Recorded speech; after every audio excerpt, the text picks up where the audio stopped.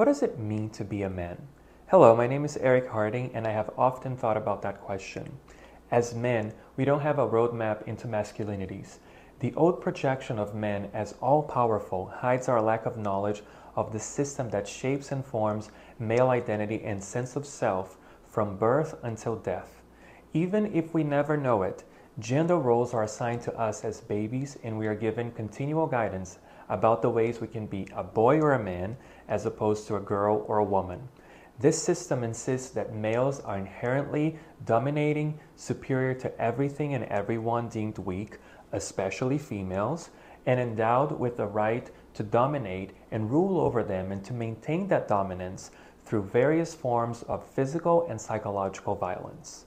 The thing is, there has been a reckoning, and that power structure has been called into question. In the 21st century, we have seen people speaking up and speaking out. They are tired of the power imbalance and behaviors that were okay not even that long time ago. We are at a crossroads. On one hand, we can get curious, adapt, and evolve as men, perhaps experiencing closeness, brotherhood, and real friendship with other males for the first time. Or, on the other hand, we can get stuck with a version of masculinity that was rigid and caused immeasurable suffering to men and those around them. Men risk going their entire lives never experiencing community, connection, and confidence.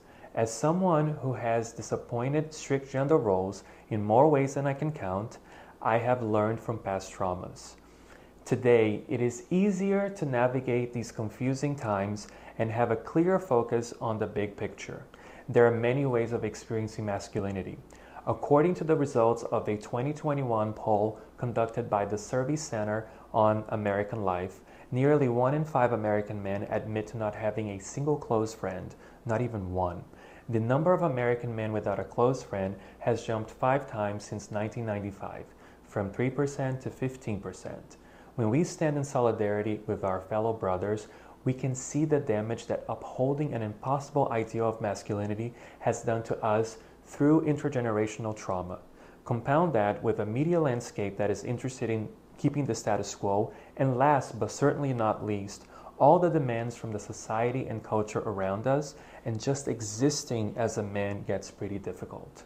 The millennial generation is the first one who has had access to the tools for healing. Our parents, grandparents, and great grandparents were simply not able to do that. By healing, we are able to break the chains that hold us in place and overcome fear. I personally deal with low self esteem and imposter syndrome on a daily basis. Having a support system and connecting with other men who were on the same boat as me was a breakthrough. It allowed me to be human and accept the thoughts of not being good enough as just that thoughts. So, if you want to join a place where we will experience community as the men that you really are, this is the right place for you. Man and masculinity are as varied and unique as the over 4 billion males living on planet Earth. So, what does it mean for you to be a man? Let's explore it together. Our journey begins on Sunday, April 16th.